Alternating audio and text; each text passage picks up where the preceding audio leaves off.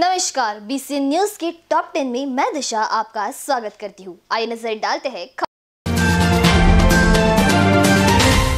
किराना clinic pathology में कोई social distancing नहीं, भीड़ का परिणाम हो सकता है भयानक, सीढ़ियों पर सटक कर बैठे लोग। मनपा कर रही है बेड बढ़ाने का दावा, हज़ारों बेड का इंतज़ाम, मरीजों की भी कतार, पाँच हज़ार सात सौ तीस बेड की अतिरिक्त व्यवस्था। देश में बीते 24 घंटे में दो लाख इक्यावन हज़ार आठ सौ सत्ताईस लोग अपने घर पहुँचे, तीन लाख तेईस हज़ार एक सौ चौवालीस नए मामले दर्ज किए गए और दो हज़ार सात सौ इकहत्तर लोगों की हुई मौत। कोरोना ऑक्सीजन की किल्लत, परेशानियों को लेकर सुप्रीम कोर्ट में मंगलवार को हुई सुनवाई, सुप्रीम कोर्ट का सरकार को फिर हंटर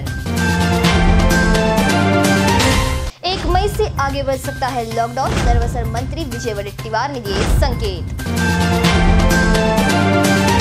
परमवीर सिंह का हो सकता है अंडरवर्ल्ड कनेक्शन जाँच शुरू जल्द हो सकता है एक्शन पाचपावली में हुआ एक और मर्डर दो युवकों ने चाकू से किया हमला सुस टीवी स्क्वाड पर भड़के सीपी